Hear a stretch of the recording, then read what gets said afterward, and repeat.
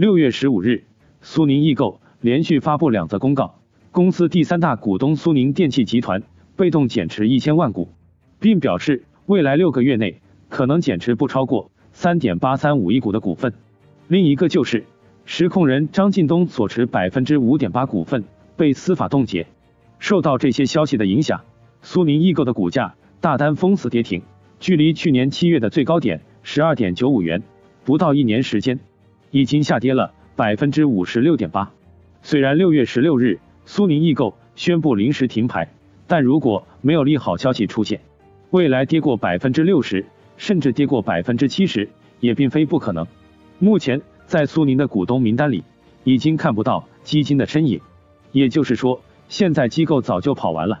除了想卖又不敢卖的大股东，也就剩一些下注苏宁会出现反转的散户。与此同时，又有媒体爆出。苏宁易购南京总部将员工宿舍出售，并且要求员工一个月内搬离。其中一些员工刚交了半年租金就被通知搬走。据称，该员工宿舍名叫紫金佳悦，原本只租给校招生，月租金一般会低于市场价。上个月突然开放给全体员工，并且只接受预交六个月租金。在卖了员工宿舍后，第二个月就赶人出门。有网友回复称，已有部分员工组建微信群。准备起诉苏宁易购，苏宁易购出售自持物业，从这一点也透露出其资金吃紧，欲加速回血。苏宁走到今天，虽然意料之外，却也在情理之中。二零一一年，苏宁总营收九百三十八亿，净利润四十八亿，同期的阿里净利润也只有十六亿。但十一年过去了，阿里净利润达到了一千五百亿，就连京东也都摆脱了亏损。可苏宁的一手好牌却打得稀烂，仅两年时间就从民营五百强变成了负债三千亿。其实从二零一二年开始，苏宁的日子就并不好过。当年八月，京东与苏宁发起价格战，刘强东声称京东大型家电三年内零毛利，所有大家电保证比国美苏宁连锁店便宜百分之十以上。为了应战，苏宁开始被迫降价，发展线上商城，加大投入物流产业。二零一三年，苏宁还开启了铁锁连横战法，线上线下相同价格。作为一个拥有一千五百多家门店的庞然大物，苏宁在成本方面本来就要比京东要高很多。而且，苏宁作为 A 股的上市公司，如果连续三年净利润为负值，交易所就有权决定暂停公司股票上市。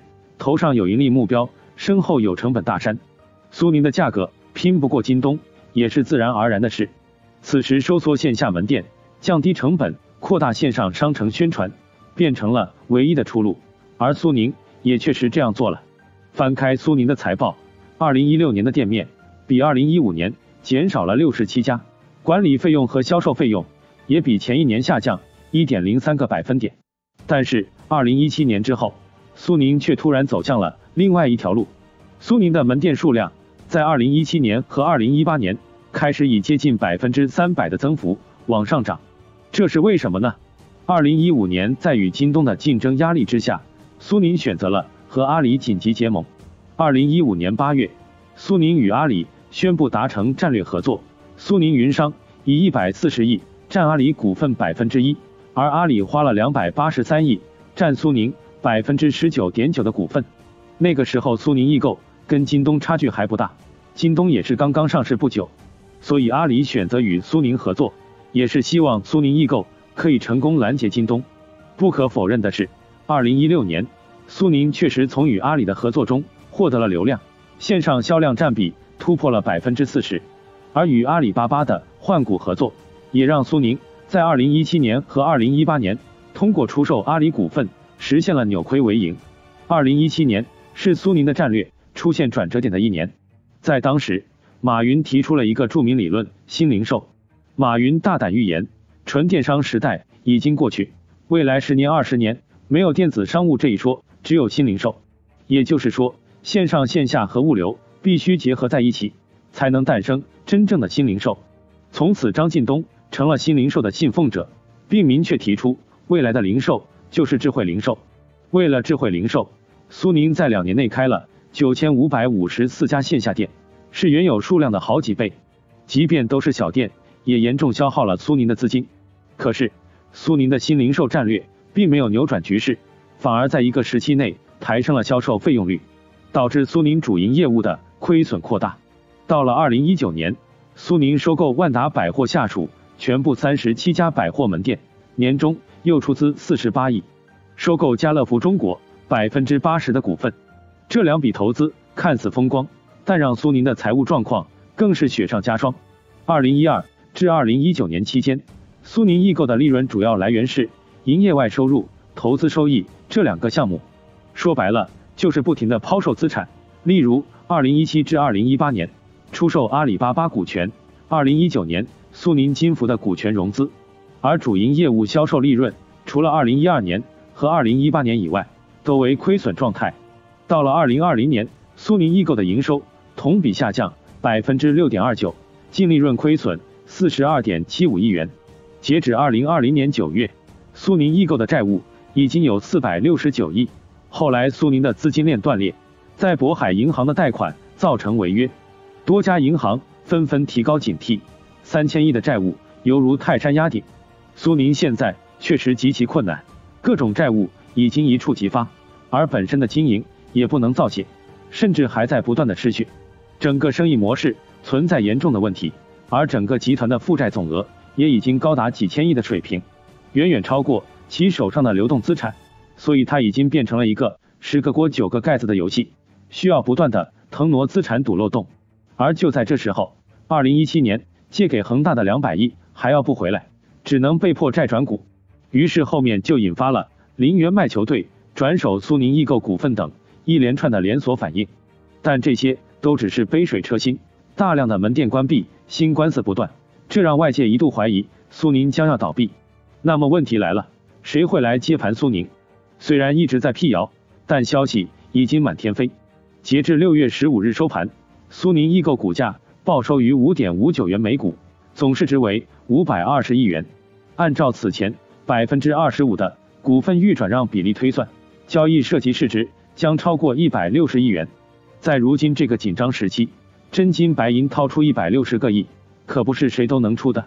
所以，接盘侠很可能是国有企业。据市场传言称，交易对手方可能是来自江苏国企等组成的财团，其中包括江苏省国信集团、江苏交通控股等多家江苏国企。目前正在讨论的估值范围大约在八十亿元至一百亿元人民币。当然。目前这一传言尚未得到证实。除上述传言外，阿里国美也一度成为苏宁的绯闻对象。但实际上，阿里在这一段时间已经偃旗息鼓，国美自己也自顾无暇。其实，张近东也谈不上有多少失误。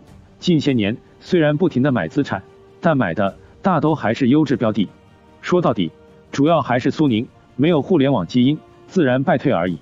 回想当年，国美苏宁的巅峰对决。哪有淘宝、京东插话的份？而此时，他们在互联网巨头面前都已经成了降维物种。